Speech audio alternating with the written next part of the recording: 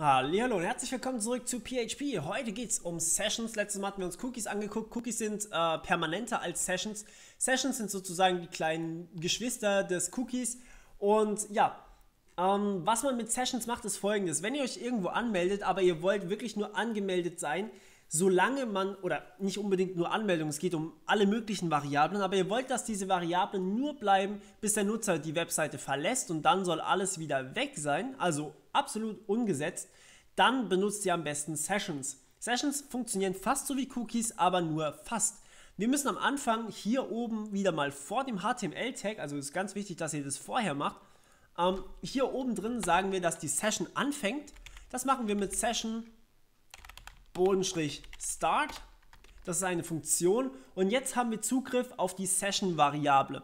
Die Session-Variable ist standardmäßig auf allen euren Webseiten, also nicht auf allen Webseiten, aber auf allen Seiten in eurer Domain gültig. Das heißt, wenn ihr die index.php aufruft, dann startet ihr die Session einfach.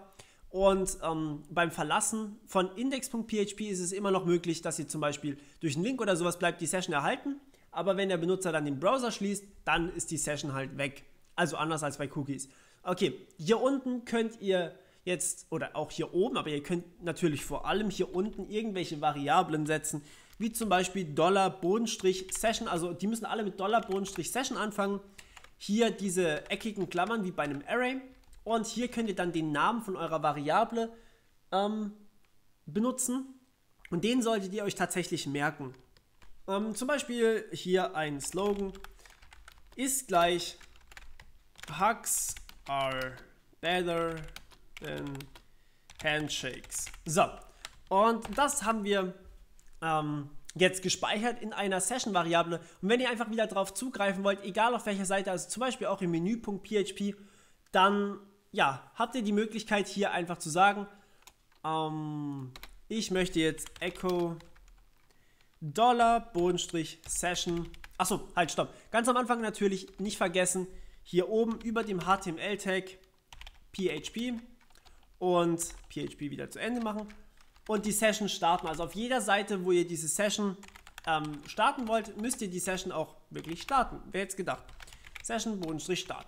Okay, und hier habt ihr jetzt Zugriff wieder mal auf eure Session oder auf, ja, auf eure Session-Variablen, um genau zu sein.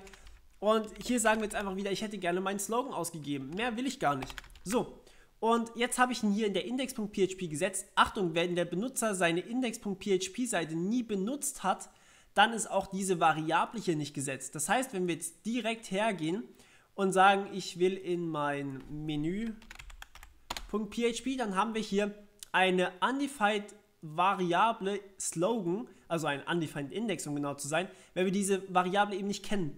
Wenn ich jetzt aber hier zurückgehe und index.php neu lade, dann setze ich diese Variable und jetzt gehe ich wieder auf meine Menü.php-Variable und bam, Hugs are better than Handshakes. Das heißt, ich habe überall diese Variable zur Verfügung. Wichtig ist bloß, dass ihr sie irgendwann mal gesetzt habt, sonst gibt es einen Fehler.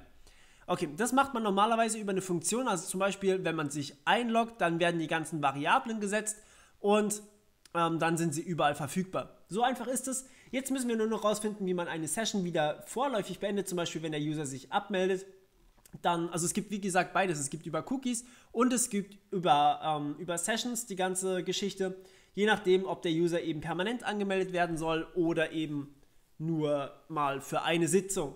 Okay, ähm, kann man über Remember Me meistens über so einen Haken einstellen. Ihr kennt ja mittlerweile Webseiten, also ich glaube, jeder hat sowas schon mal gesehen.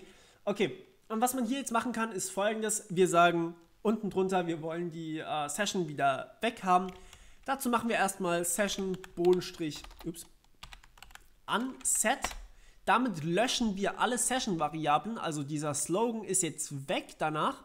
Und die Session läuft immer noch weiter. Das heißt, ich kann hier unten drunter jetzt wieder neue Variablen setzen. Ähm, aber mein Slogan ist hier jetzt weggelöscht worden. Das wäre natürlich jetzt fatal, wenn ich irgendwo auf den Slogan zugreife.